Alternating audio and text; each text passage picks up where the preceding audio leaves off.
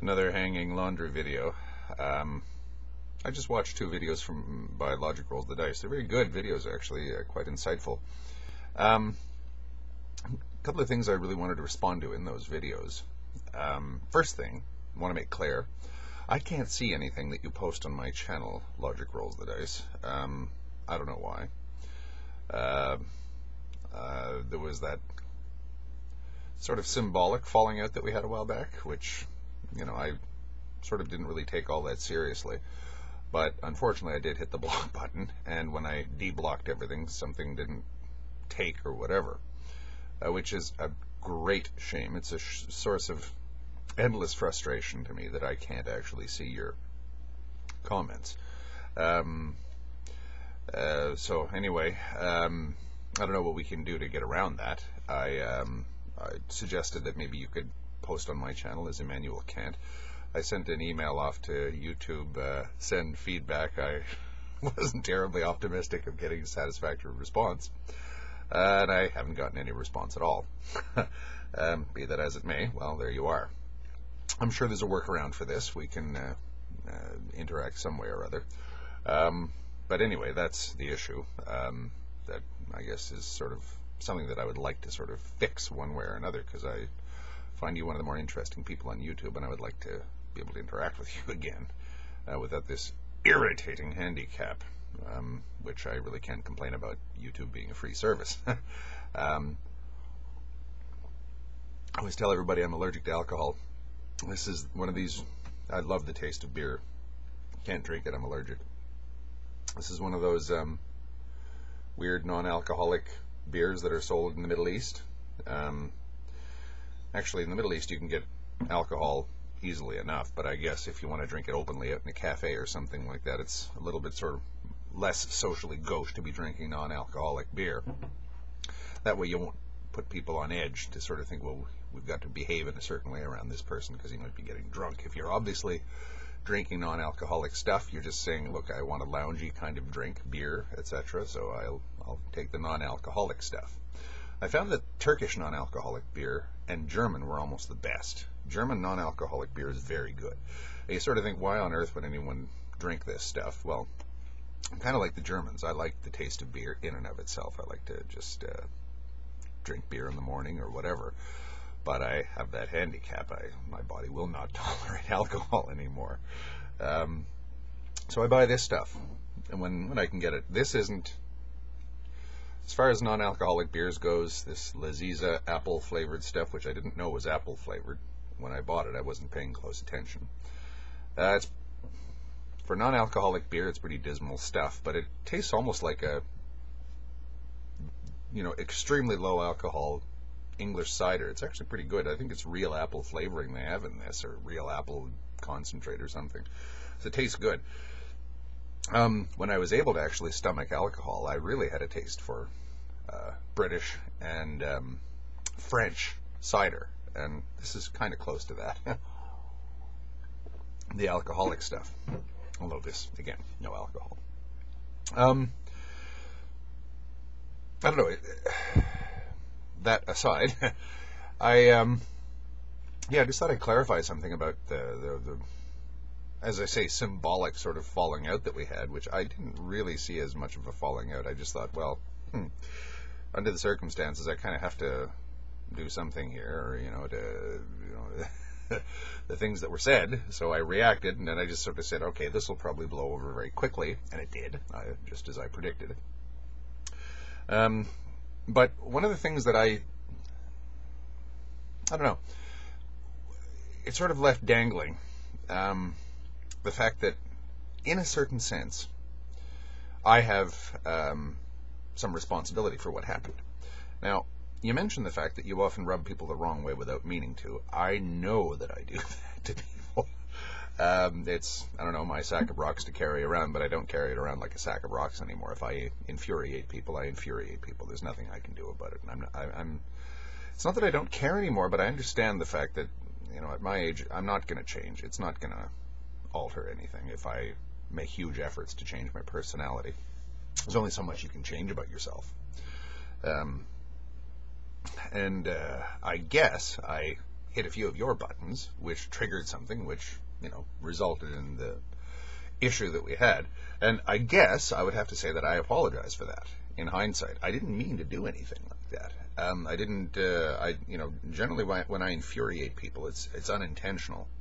If I think that a conversation is getting hot, I generally say, uh, "All right, uh, let's just back off from this, whatever." Um, but that's often insufficient, especially if somebody's talking about something that's important to them.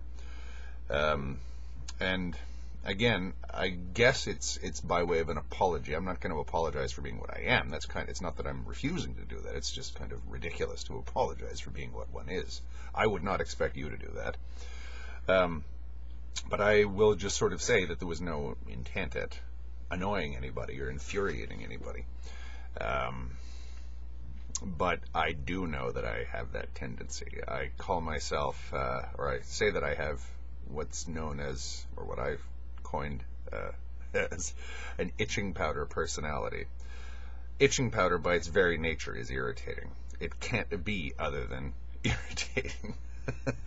um, and I believe, or for whatever reason, I tend to have that effect on people. But um, I guess I have the advantage of sort of thinking, well, all right, experience has taught me that that's not going to change. So um, maybe uh, when I'm talking about things that are really interesting to me, I just let myself go, as opposed to keeping up the sort of necessary mask that many of us have to wear when we're out in public, which I take it you don't like to wear at all. Um, I can do it. I can wear a mask. It is exhausting, but at least I'm aware of the fact that I, that this is work. It's not enjoyment. If I go out to a party that I know I'm not going to enjoy, and I'm going out for other reasons than my own enjoyment, i.e., uh, to avoid uh, my friends feeling like I'm snubbing them, or because my wife wants to go, or something like that, I'll go out and I'll act like I'm having a great old time. And I'll, by the time the party's over, I'm like, thank God. but yeah, you sometimes in life you got to do stuff like that, and that's the mask that I can wear. Um, here on YouTube, I wear another mask. I'm actually a lot more, believe it or not, I'm a lot more abrasive in, in person than I am on YouTube. Uh, that's saying something, isn't it? Um, but I tend not to sort of hold back, at least on my opinions, even though I try to be diplomatic about it. I'll say things that are going to absolutely infuriate people. Now, I fully expect people to say things that infuriate me. Um, so again, it's um, you know that's kind of a rule that I can set for myself, and you know you just there's no guarantee that the other person that you're dealing with understands that.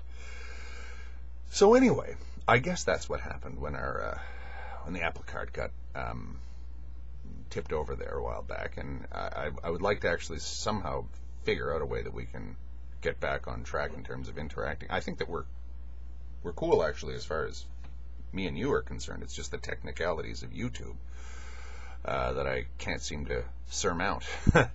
uh, maybe somebody can help me with that, some way of figuring out how I can get uh, Logic Rolls the Dice's posts to be visible to me because I get the emails and I see the you know the little short blurb, the beginnings of the message that he sends. And I go, oh, goody. And then I click, go on there, and the message just isn't there, but I see a bunch of other people responding to it. It's irritating me. There, see, I do have a fuse. um, so anyway, if we could get this fixed, um, I would um, I would appreciate it. Or if not, maybe we could get some sort of workaround or whatever. Um, I don't know what we could do, but as I say, I I find you logic to be at least in the top one percent of the most interesting people on YouTube. The other people that I find interesting know who they are. um, and um, they're it's pretty predictable. Um, and uh, I, um, as I say, it, it just seems a shame that it's that I'm incapable of getting past this. I wouldn't have done it if I if I'd known this was going to be the outcome, because as I said, it was kind of just a symbolic act anyway that is blown up in my face. Um, anyway, um, enough said. Um, just uh, by way of something of a shout out, if you want to if you're interested, Logic Rolls the Dice did a pretty couple of quite good videos, kind of uh, certainly not baring his soul, but talking about I don't know by way of explanation um, what to read into how he presents his arguments and how he reacts to you. Very healthy, actually, if you sort of think, okay, well, you know, I can see a lot of people thinking this about him uh, or about you, Logic. Uh, well, if you didn't have this, this, this, or this attribute in your in your personality, uh, you'd be a incredibly interesting person to deal with. But you know, it's this other stuff that uh, um, that you know is difficult to deal with. Just an explanation of that, and uh, to sort of to those who are sort of interested in what he has to say, and uh, certainly the way that he puts his arguments and his obvious brain power, which is superior to mine, and I'm not being condescending when I say that. I believe that that's the case. Um, yeah, so yeah, I would I would ask anyone who's interested to uh, to watch that video because I both of those videos because they're quite good.